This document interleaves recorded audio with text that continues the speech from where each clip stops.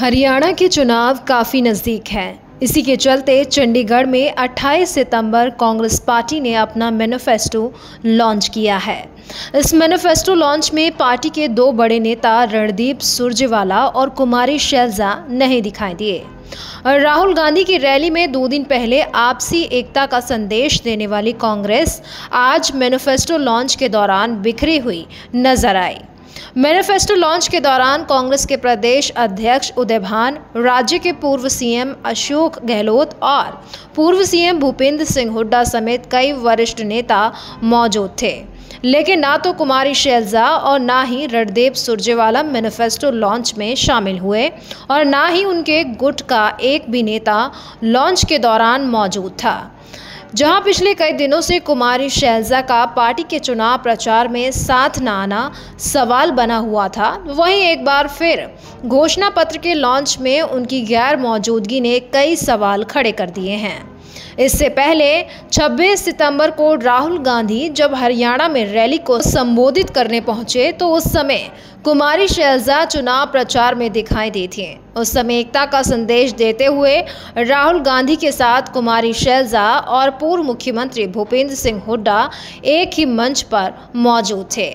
Kumari Selja ticket बंटवारे और आपत्तिजनक टिप्पणी को लेकर कई दिनों से नाराज़ चल रही थी। हालाँकि राहुल की रैली से पहले कुमारी सैलजा को काफ़ी मनाया गया था और वो चुनाव प्रचार में शामिल हो गई थी, लेकिन एक बार फिर कुमारी शैलजा और रणदीप सुरजेवाला ने पार्टी से दूरी बना ली है।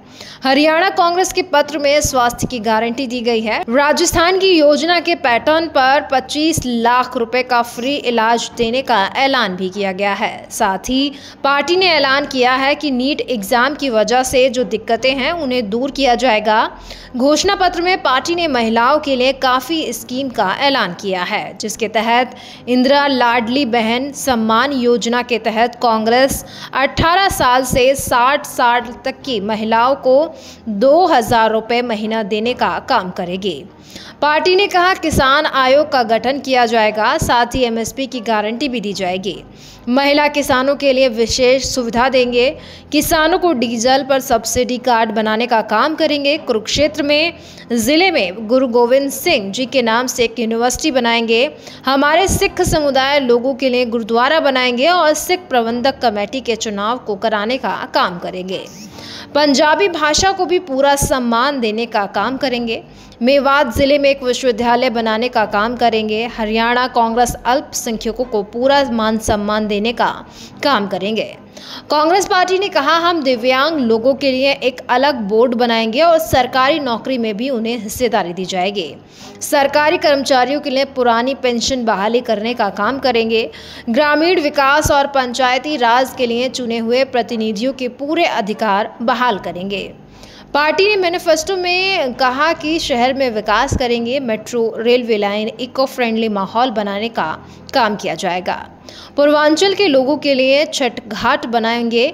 व्यापारियों के लिए व्यापारी आयोग का गठन करने का काम करेंगे। पार्टी ने कहा अर्धसैनिकों के लिए बोर्ड बनाएँगे, खेलों के लिए पूरा मान सम्मान देने का कांग्रेस पार्टी काम करेगी। नौकरी पर गारंटी, ब्राह्मण आयोग के लिए एक बोर्ड गठन करने का काम, साथ ही हरियाणा में पंजाबी वेलफेयर बोर्ड का गठन, हरियाणा में परिवहन व्यवस्था दुरुस्त, हम इलेक्ट्रॉनिक और सीएनजी बसों को हमारे बेड़े में शामिल करने के लिए काम करेंगे। ड्राइवरों और कंडक्टरों को आवासीय सुविधा भी देंगे।